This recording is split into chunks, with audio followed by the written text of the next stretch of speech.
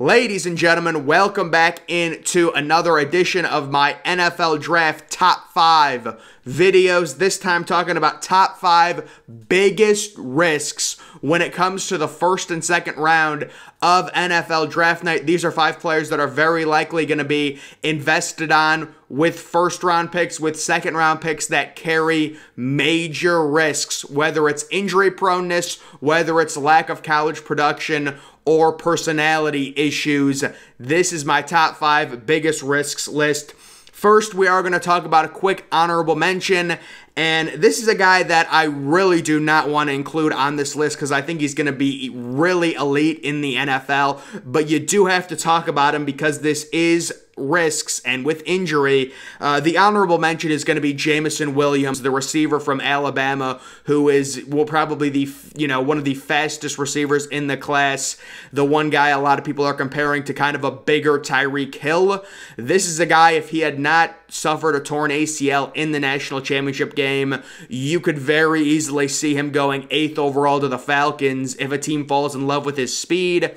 Uh, he's one of those guys where he is a specific wide receiver. Like if you want a taller receiver, he's not going to be your guy. But again, if he had not suffered an injury, a, a, severe injury in particular, he could potentially be the number one receiver off the board, but he did suffer that injury, so I would look for Jameson Williams to go more towards the back end of the first round, maybe mid first. No, I could see mid. I could see like 14th or 15th overall, somewhere around there for Jameson Williams, uh, but he did suffer that torn ACL. Now, there are videos of him on Twitter already running. He's about four months post recovery, I believe, at this point, because it is late April. He suffered it in early January. So this is a guy I think he's going to be fine when it comes to the NFL, but you are drafting him you know, coming off a major injury. That is something for teams to take into account. It's not exactly a David Ojabo situation. We'll get to David Ojabo. He is in my top five list, but um, uh, because he suffered the injury earlier, Ojabo just recently had his, I believe, torn ACL. So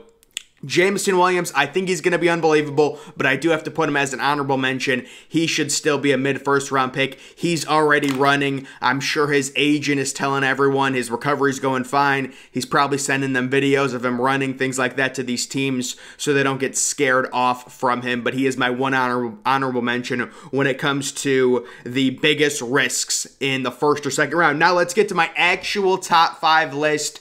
Coming in at number five, it's actually going to be Tyler Smith, who is an offensive tackle from Tulsa. And there are some actual mock drafts that have Tyler Smith going in the back half of the first round. This is a true project type offensive tackle who really has not faced very much good competition at all. I understand you could say the same thing about Trevor Penning, who I love. The reason Trevor Penning is not on this list and Tyler Smith is, is because I think Trevor Penning has a better overall body type to be an elite offensive tackle in the NFL. Tyler Smith, to me, his technique is a lot more raw. He needs a lot more seasoning in the NFL. This guy, if he's going to be drafted by a team like the Bucks late in the first round, I've seen him mocked to the Bucks. I believe they give they have like the you know 27th, 28th overall pick in the first round. Um, that is a risk. He's a big risk. He's really raw, high upside, obviously, he's going to be a first round pick. No injury concerns with him. Again, it's not just the injuries when it comes to the biggest risks, it's also uh, you know, the lack of competition and playing at Tulsa and being as raw as Tyler Smith is, people are basically drafting him based off of his build. And if you're going to draft an offensive tackle based off of their builds, I think Braxton Jones from Southern Utah is going to give you a lot better value to where you could draft him in the fourth or fifth round personally. And again, I know people will say, well, what about Trevor Penning? He went to Northern Illinois. I just think Trevor Penning, his body type, his overall technique is a lot more refined than Tyler Smith. So Tyler Smith comes in at number five. If he does go into the first round, that is a major risk. He's really raw. Uh, and if you're going to insert him in, you know, into that right tackle position week one, 2022, that's going to be scary because he's a very raw player. Coming in at number four, it's going to be it is going to be Kayvon Thibodeaux, the pass rusher from Oregon. This is a former five star recruit. This is one of those freak athletes. I've really had a tough time grading this dude because part of me says this dude is your such your prototypical bust. His head's not in it. There's been rumors he has aspirations outside of football. He doesn't really care. He was injured a lot at Oregon, but it is important important to note out when he played, he had elite production. His pressure rate was really good. He was getting sacks. He's a physical freak. So part of the argument is he's showing so many different signs of being one of these prima donna pass rushers that ends up, you know, injury prone, ends up a bust. But then the other side of it, even if he's a Jadeveon Clowney, Jadeveon Clowney is still an elite football player. He's still an elite, like, when you're that much of a freak, you're still going to have an effect on the game, even if you're not getting sacks. You could be really good with pressure rate. You could cause the quarterback to move out of the pocket, things like that. Uh, so he comes in at number four. I still have him as a top 10 overall prospect. I still think he's going to go top 10. There's been some talk about him possibly getting, you know, falling in the draft outside of the top 10. I don't think that's going to happen, but he comes in at number four just because there's been different rumors about he's, his head's not really in it. He was injured at Oregon off and on. He comes in at number four. Moving on to number three. This is a tough one for me. It is going to be David Ojabo.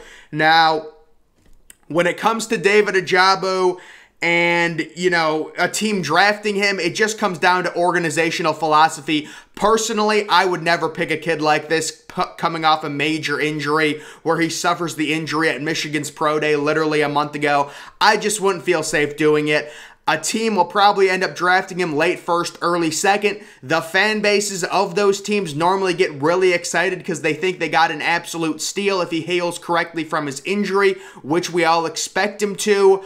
A lot of people don't remember, but before David Ojabo's major injury, he was being mocked 12th overall, 13th overall, for, like mid first round. He was a solid guaranteed first round pick. The injury happens. He gets knocked down. I'm seeing him at 29 30. I'm seeing him fall out of the first round.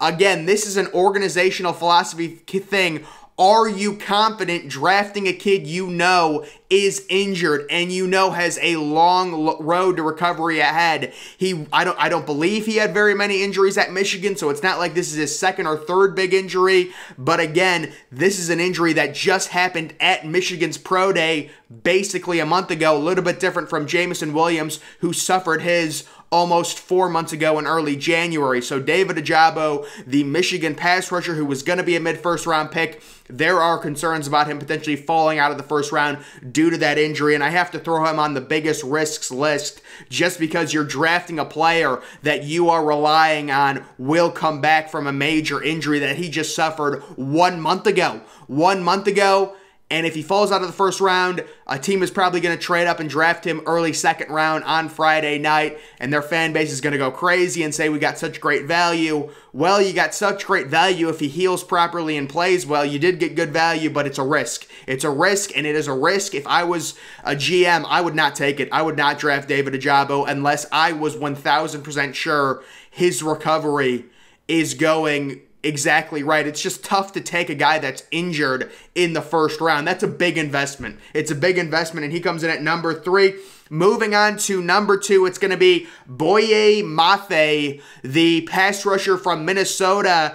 And this is just one of those players, I've said it before, it's a disconnect for me. This kid, I, I nicknamed these guys all athleticism, no production. It was Jayson Oweh last year. You can say he proved me wrong. I still don't think he's going to be that great in the NFL. I know he had a good rookie year, I understand. But again, when you have a lot of athleticism, scouts fall in love with it. Very similar to um, Travon Walker, although that's a whole nother different situation. But uh, this kid, very little college production. They love his measurables. Uh, you know, they love his overall testing numbers, his agility, his speed combined with his size.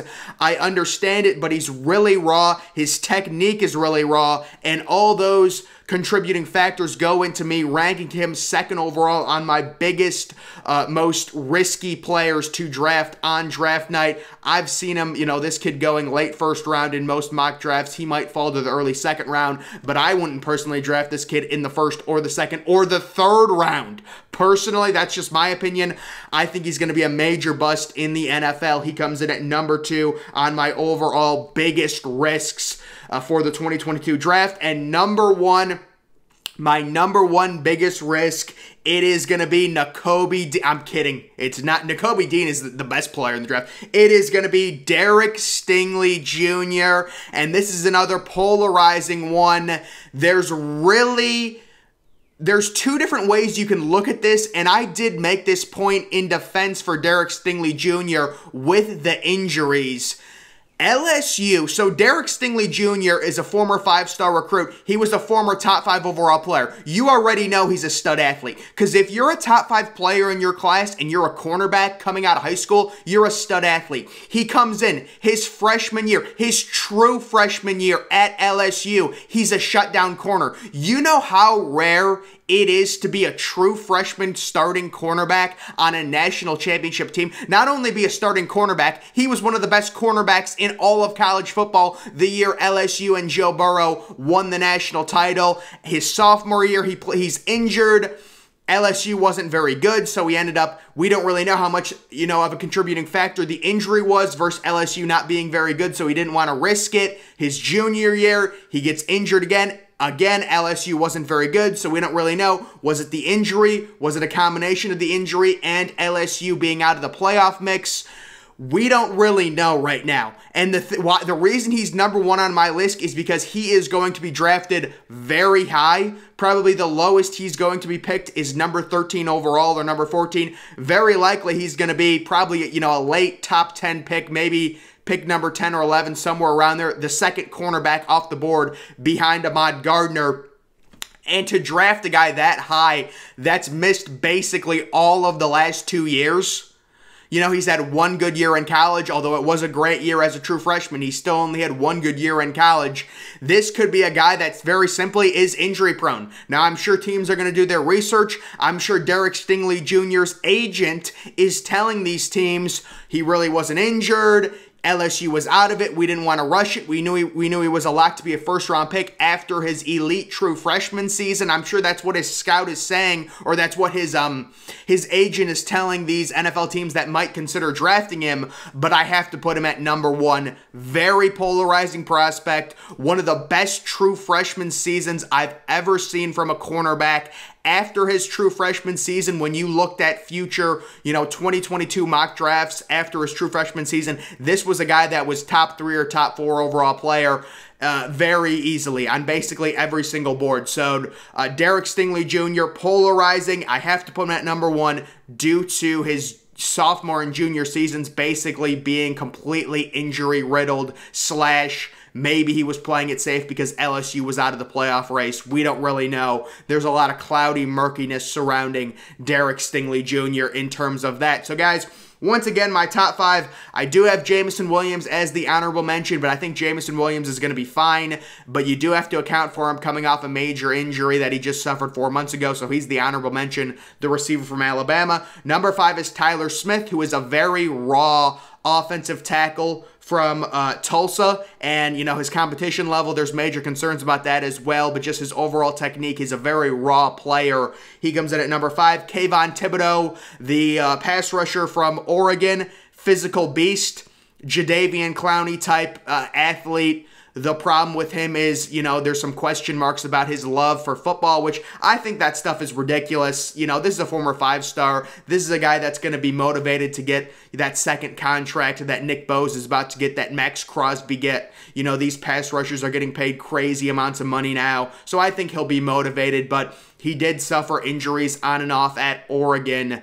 That's something to take into account. Number three, it's going to be David Ojabo, the pass rusher from Michigan, who's coming off a major injury he just suffered a month ago. Number two, it's going to be Boye Mafe, the pass rusher from Minnesota, who I, you know, consider all athleticism, no production. And then number one is going to be Derek Stingley Jr., the cornerback from LSU, who has some major injury concerns. So when it comes to this top five list, most of it is going to be injury concerns. These are five guys that if your team drafts them in the first round, you're going to have to worry a little bit more than some of these other guys, than someone like a Nakobe Dean, like a Devin Lloyd, you know, guys that are not injured, that has never suffered a major injury, things like that. These are serious risks. Not to say they won't pay off. Maybe Derek Stingley Jr. has a completely healthy NFL career, but when you have nagging injury after nagging injury, it tends to lead to problems when you start facing even better athletes, when you start taking even bigger hits from stronger, faster dudes.